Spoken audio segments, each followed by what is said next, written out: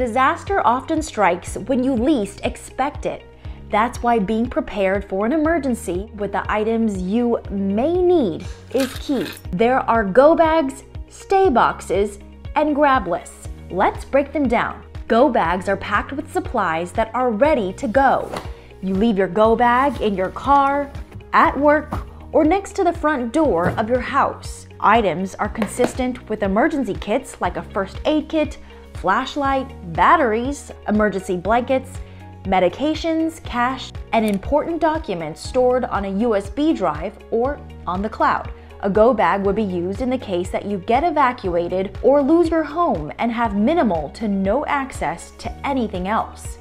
Stay boxes are similar to go bags, adding in water and non-perishable foods, a way to prepare or cook them outside, and meters and other tools to check that your gas is turned off. A stay box would be used if you were left without power at your house after a disaster. Grab lists contain the items and locations of the special items you want to grab when you learn of an impending evacuation. Think of family heirlooms like grandma's pearls, dad's Texan tie, or your child's favorite stuffed toy. These are irreplaceable items you'd want to take with you. And there you have it. Get your go bags, stay boxes, and grab lists ready today. To learn more, visit readynapacounty.org.